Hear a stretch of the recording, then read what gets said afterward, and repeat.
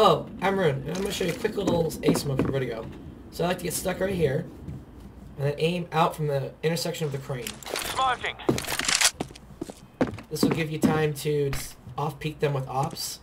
And what it'll do is create a hallway here on the right, so funnel through, as well as you guys can come through this way if you get pins. And you can create your own space there. So it's for getting the bomb down and pulling back. That's the idea of the site.